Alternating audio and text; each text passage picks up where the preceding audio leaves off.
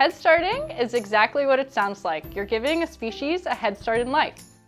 Here at the Toronto Zoo, our Blandings Turtle Head Start project raises turtles from about the size of a dollar, which is their edible size, up to two years, which is about the size of a medium-sized baked potato.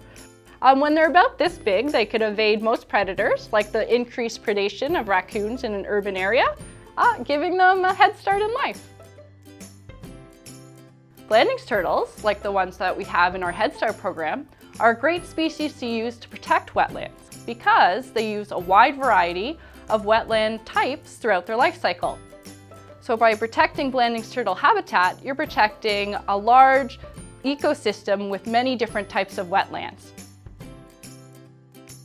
Wetlands are important because they filter the water that we drink and play in, they prevent erosion and flooding, especially in urban areas like Toronto. And they're reproductive nursery hubs for many of the organisms and animals that we've learned to relate with and love. So if we could save one species to save an entire ecosystem, it makes it all worthwhile.